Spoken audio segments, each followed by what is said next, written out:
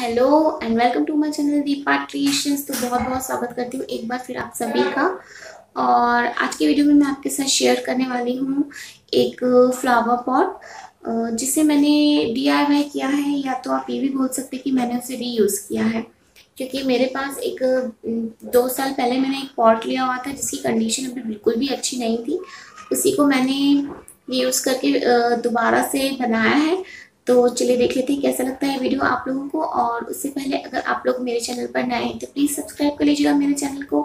Video अच्छी लगती है तो इसे लाइक करिएगा शेयर करिएगा, और कमेंट सेक्शन में ज़रूर लिखकर बताइएगा कि मेरे वीडियोस आप लोग को कैसे लगते हैं। साथ ही साथ मुझे अपने वीडियोस में क्या इम्प्रूवमेंट करनी चाहिए।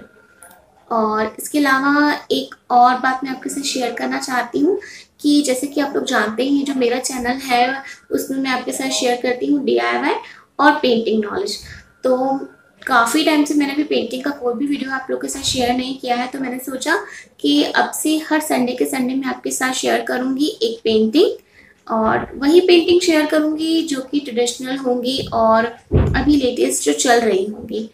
तो फिर देर किस बात की? चलिए स्टार्ट कर लेते हैं वीडियो तो आप देख ही सकते हैं कि स्पॉट की कंडीशन कितनी ख़राब हो गई है। जो भी इसके स्टोन्स वगैरह थे सब निकल गए हैं।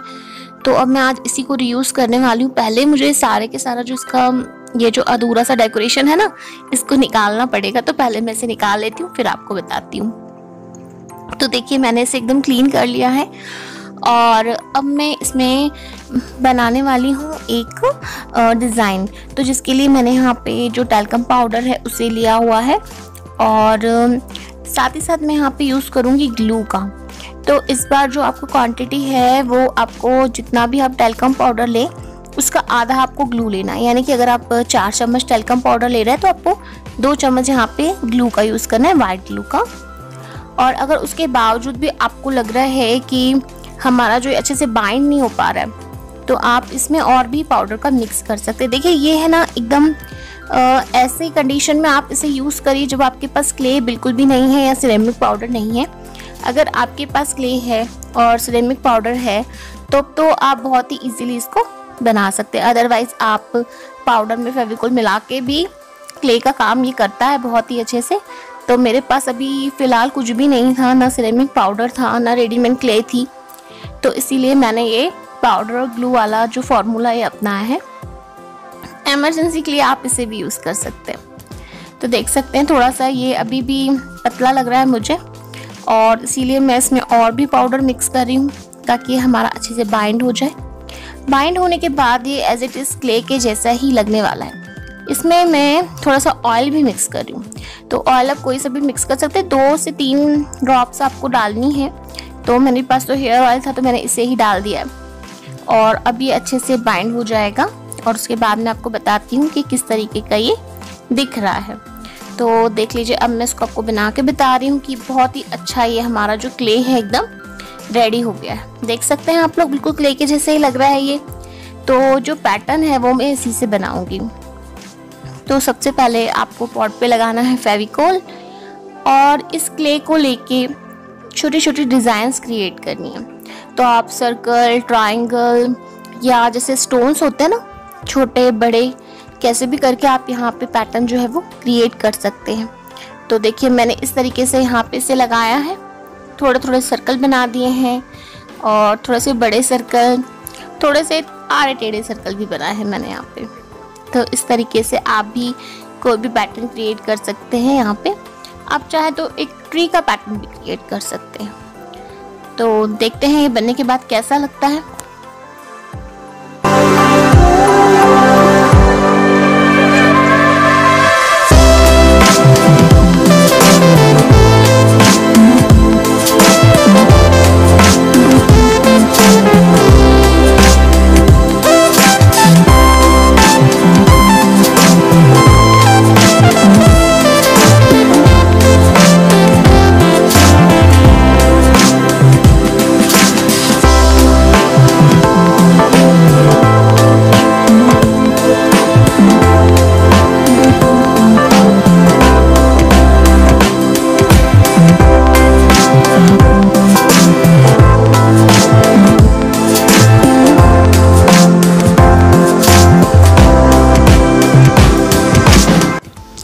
देखिए, अभी से कितना सुंदर लग रहा है हमारा जो पैटर्न है, अभी तो ये पूरा कंप्लीट भी नहीं हुआ है।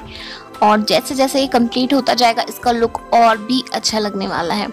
और जब ये बन जाएगा तो आपको बिल्कुल भी लगेगा ही नहीं कि ये पुराना वाला पॉट है जिसे मैंने यहाँ पे बनाया है। तो देख सकते हैं आप लोग, मैंने किस तरीके से यहाँ पे क्ले को ऐड किया है। और ये अब हमारा पूरा लग गया है और इसे मैं रख दूँगी ड्राई करने के लिए। तो इसे मैं ड्राई करने के लिए रख दिया था और अब ये हो चुका है ड्राई कम से कम मुझे इसको ड्राई होने में, आप रात भर भी लग सकती है, अगर मौसम बारिश वाला है तो।